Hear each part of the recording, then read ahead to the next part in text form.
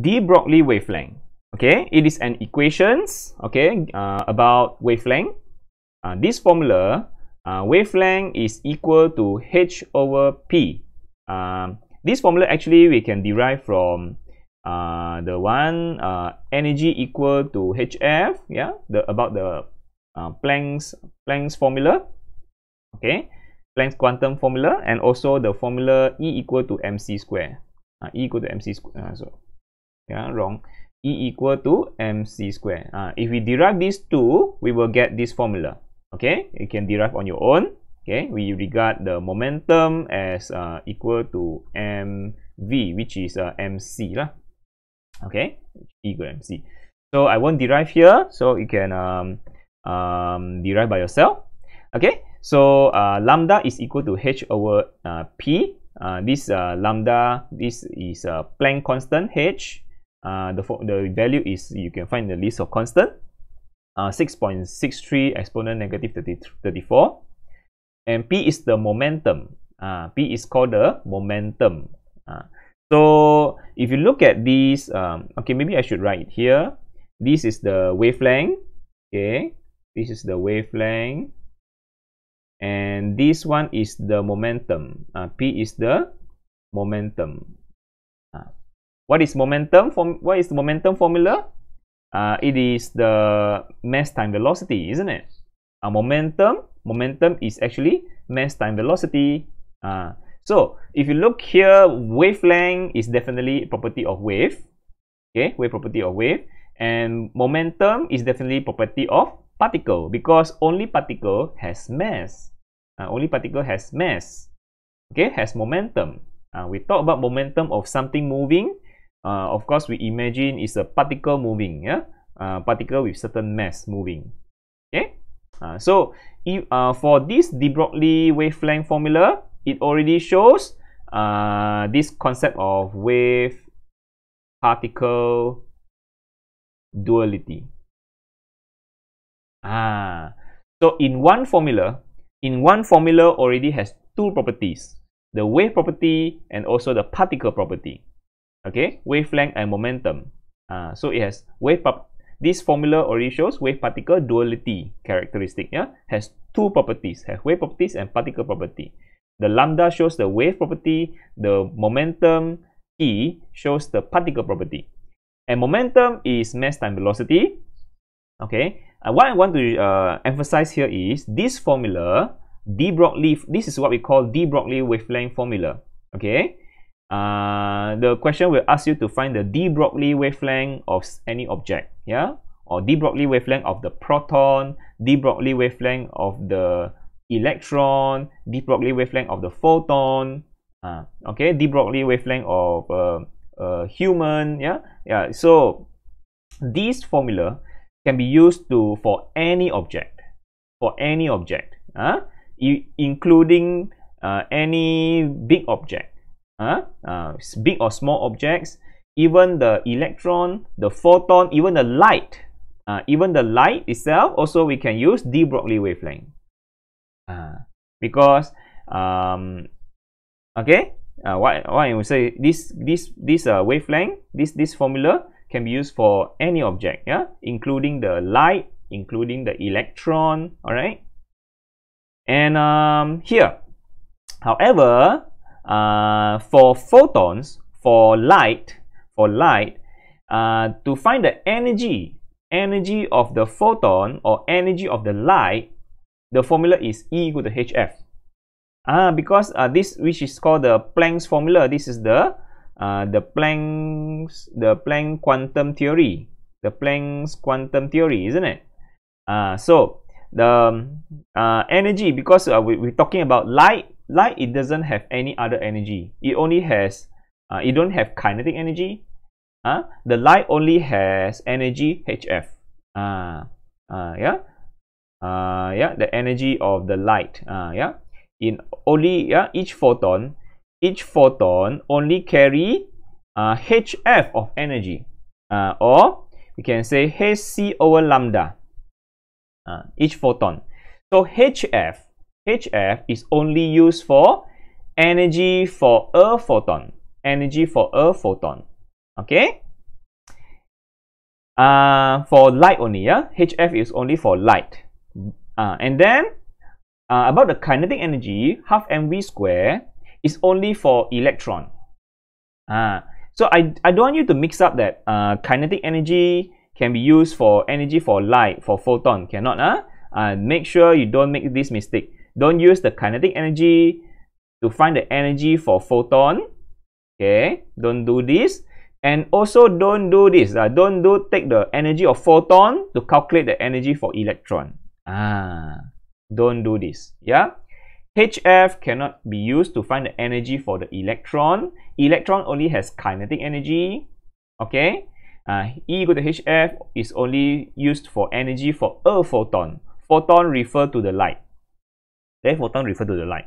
Electron has uh, doesn't have HF. Yeah, uh, we don't talk about uh, HF. Electron is uh, kinetic energy. Okay, kinetic energy, which is half mv square. We use E equal to half mv square to find the energy for this electron. Okay, for this electron, kinetic energy of the electron. Uh, this one is only for electron. Yeah, don't use kinetic energy to find energy for light.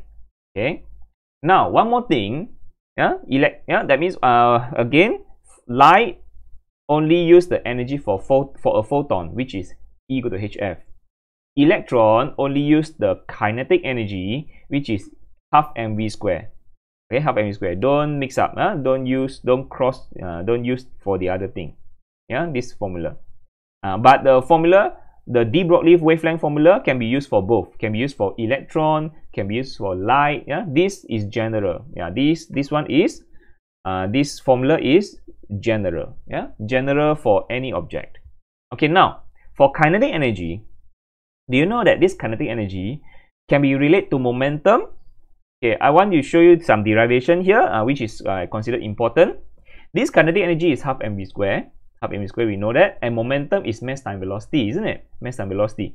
So what I want to do is I want to put the momentum inside. How to put momentum inside? First, I adjust the formula. Here is uh, mass velocity square, isn't it? Mass velocity square. So I put another mass inside. Yeah, I put mass inside. I multiply mass and then I divide by mass. You understand that? What we uh, which I mean is um, uh, this k equal to half mv square. What I do is I multiply uh, m over m. We know that m over m, m over m is equal to one, isn't it? Uh, but I purposely multiply m over m. Uh, it's just like multiply one it just like multiply one has no effect to the has no effect to the equations yeah uh, I just want to multiply m over m. so it becomes what it becomes half and then here become m square uh, mass time mass you get m square and then v square and then below here you get another m. Okay? Uh, it's just like actually it's just like uh, this mass time uh, mass uh, minus the cancel the mass here you back to half mv square isn't it? You back to half mv square but we don't want to cancel. We just want to maintain. Okay? I just want to maintain like this. So uh, this one is uh, I which is this one lah? Yeah this is the same as this one. See? Half m square v square over m uh, and then uh, m this m here here becomes what here becomes uh, mv square isn't it uh, m m square v square is actually mv square right m square v square is actually mv square. So p is equal to mv, p equals mv. So p equal to mv, so put inside p here. So become p square. Uh, p is momentum, yeah. So it's momentum square over 2m.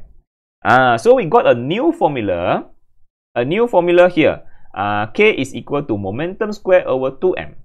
Uh, and then we can further derive. I, I need to I need you to uh, remember remember this formula. Okay, how the kinetic energy is related to the momentum. Understand? How the kinetic energy is related to the momentum. Uh, because why we want to relate the kinetic energy to momentum? Momentum because I want later I want to relate kinetic energy to the wavelength. Uh, because wavelength is inversely proportional to the momentum. Understand or not? Uh, so uh, uh, now I want to put lambda inside. I want to put lambda inside this kinetic energy formula. How? How do I do that? Uh, how do I do that is, um, uh, this is something secret. uh, something secret yeah so kinetic energy is uh, now p or uh, p squared over 2m uh, uh, what i can say is like this yeah?